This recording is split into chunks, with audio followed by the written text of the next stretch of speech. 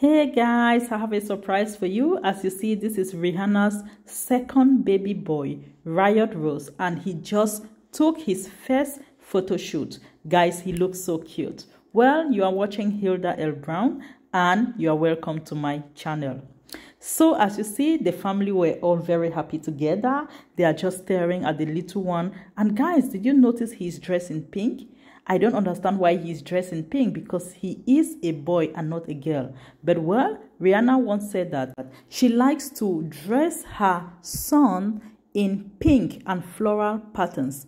And she opened up about these choices in a match um, interview this year with British Vogue.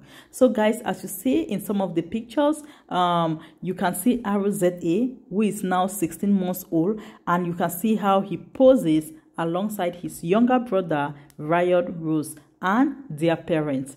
So guys, these pictures were so cute, marking the first time that the family of four had taken a family photo together. Oh my god, look at it. Everyone looks so adorable. And you can see how ASAP Rocky is smiling from cheek to cheek. He cannot believe he is having both of his sons together with his wife. This is a wonderful time for the family. Well, guys, some of you will be thinking, as for RZA, Rihanna waited for a very long time, almost a year, before people could see the very first photo of her child. But this time around, they decided to make a photo shoot while the baby is barely one month old. Why is that? Well, I guess that last time while they were doing their photo shoot, someone took pictures of them and wanted to post it online first, but they decided to shock that person and posted the video of their baby, you know, before the person could ever, you know, post it online. And this time around, they don't want to take that risk of keeping um, pictures of their baby for a very long time. I mean, they don't want to give that privilege to someone else to post their child. So they think it is better for them to do it first than any other person can post. And it is a good idea. I really love the family.